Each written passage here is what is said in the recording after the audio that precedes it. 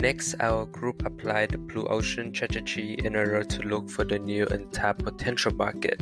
Instead of focusing in customers who are aware of healthy food and having a healthy lifestyle, our business want to approach the customer who normally dine out or eat fast food and takeaway food.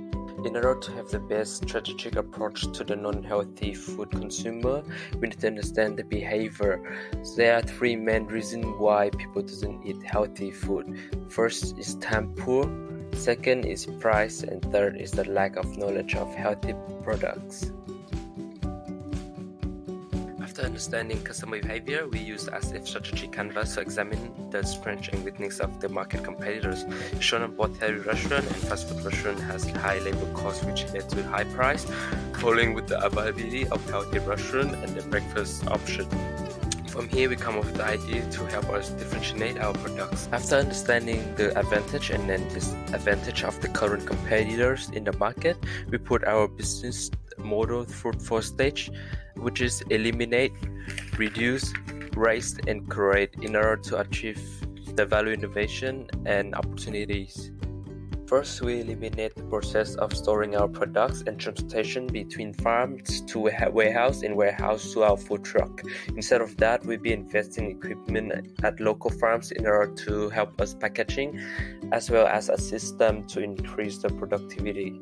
Next, we reduce our menu option and variety to maintain our food quality, and then we can increase the customer satisfaction for seasonal menu or weekly menu. For example, our first three hot food option would be the chicken breast, salmon fillet, and noodle soup. Then our vending truck that stock chicken breast or salmon fillet can be parked in the gym or university to provide student and customer healthy dishes that contain protein and nutrition.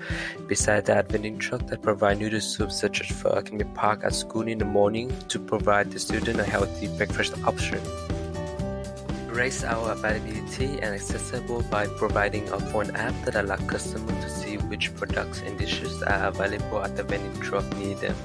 Also, to avoid food waste or leftover stock that impact our food freshness and quality, we put on sale and promotion before midnight to notice the customer through the application.